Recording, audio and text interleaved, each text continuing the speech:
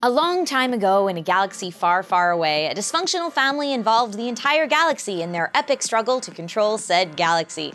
Guys, welcome to Take My Money, the show where we collectively drool over the most unique and outrageous items the internet has to offer. I'm Trisha Hershberger, and this year has been chock full of love for the epic sci fi adventure that is Star Wars.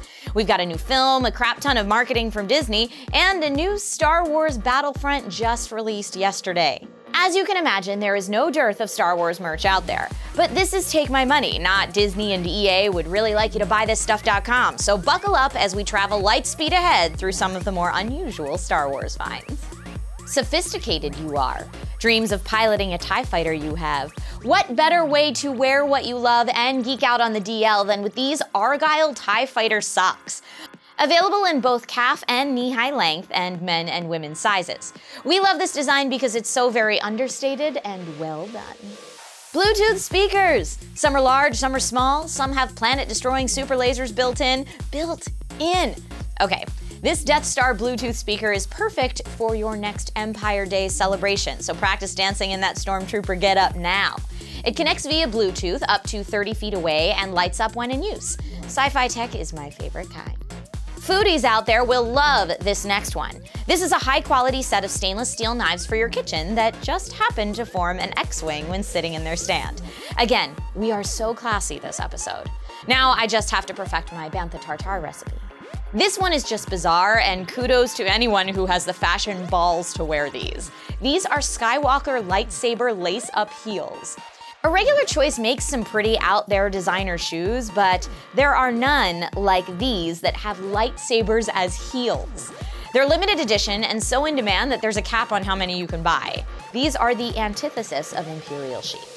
Race car beds are so last century. Check out this sweet Millennium Falcon inspired bed. This is worth curling up to fit in a twin size mattress, trust me. The head and foot of the bed are modeled after the Millennium Falcon cockpit, and the entire frame is made from solid wood to endure through many a space battle. Star Wars plaque on the side, lasers and other weapons not included.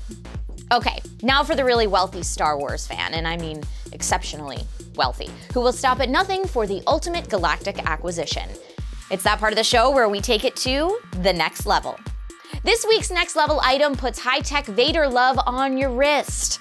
The Devon Star Wars watch is made from stainless steel turned black using a diamond-like carbon coating. It's got screws designed after and points on the bottom like Vader's helmet, TIE fighter wings on the sides, an Imperial crest on the knob, a leather strap designed after Vader's glove, but the sci-fi influence on this timepiece are more than just aesthetic. Devon watches are a little bizarre, yes, in design, but also in engineering and execution. The Star Wars watch has a five-piece glass-reinforced nylon belt assembly, and it gives the illusion that the parts are floating inside the case. There are even crystals that feed temperature data to onboard microprocessors that drive each watch's four microstep motors.